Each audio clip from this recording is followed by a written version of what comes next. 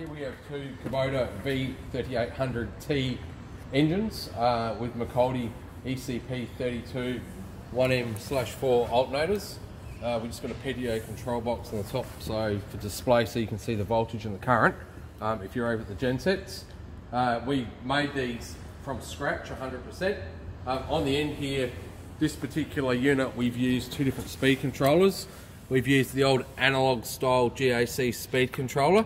Um, so these are in sync, uh, wired up to a GC600 and a DST4602. And over here we have a digital speed controller uh, from GAC, which is the EEG 7000 series.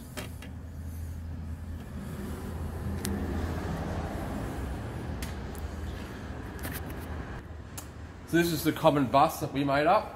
Um, so inside we have a, a, contactor, a load contactor from each generator, generator, generator 1, generator 2. Um, we've got the incoming supply from each generator coming into the breakers and obviously they feed to a common bus on this bus bar right here.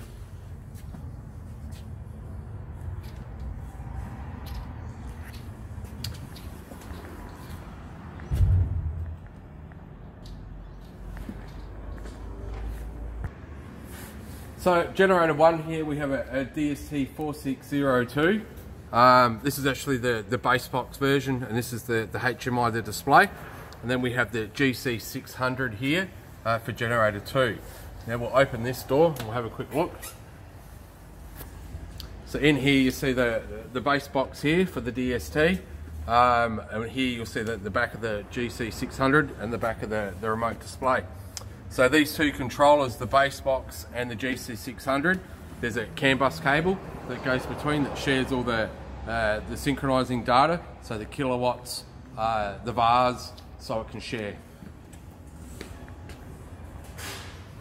Now here we have a, a, a reactive load bank, um, so it's good for our VARs. And then over here we have a resistive load bank, so the power factor is obviously unity, so that's good for getting the load in kilowatts.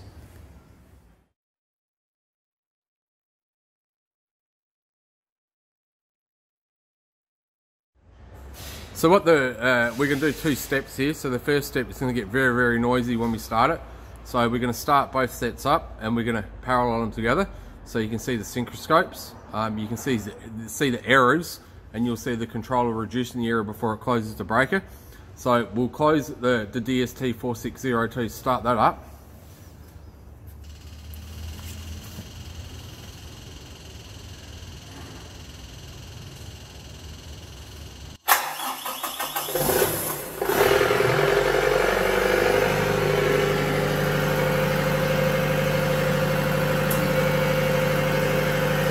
Now we're going to start the GC600 and we'll let it sync to the DST.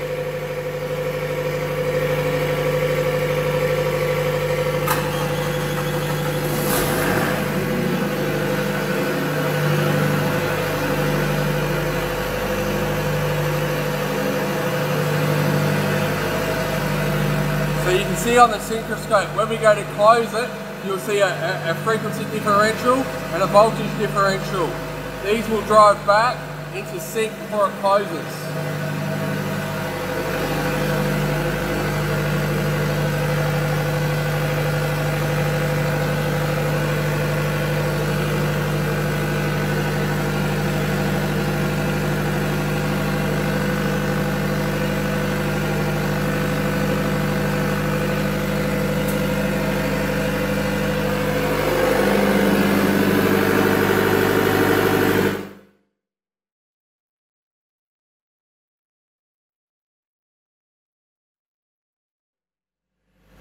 So you see on the screen here that these two sets are in parallel. There's a tiny little bit of recirculating current, very, very little. So we're fluctuating, the, the total load is less than half to one kilowatt between both sets.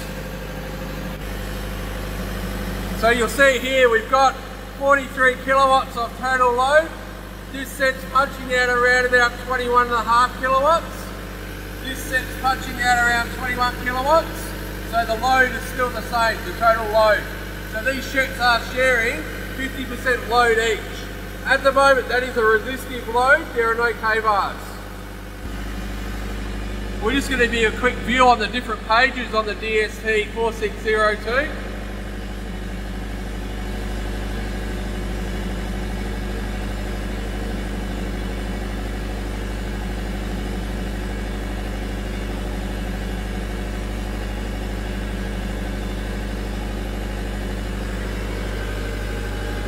Now the GC600.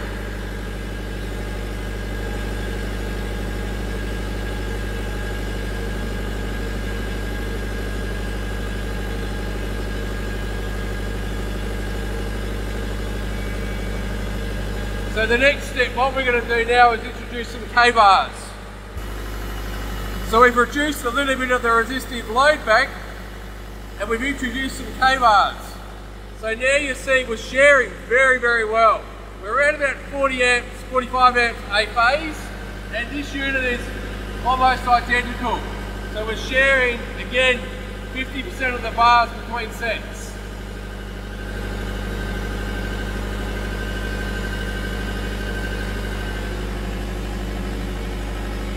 You can see the power factor sitting around about 0.6.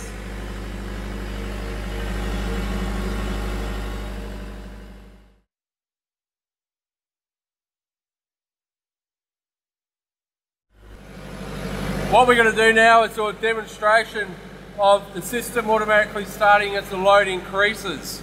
So basically, when generator 2 gets to 19 kilowatts, 60% of its load, then the DST is going to start up close its breaker.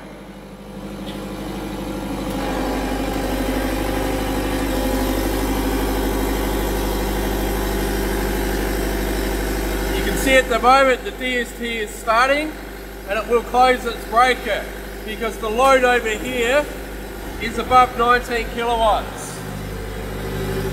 The reverse is going to happen when we reduce the load down to 12 kilowatts then the DST is going to come off the bus and the load will be taken 100% off of the GC600.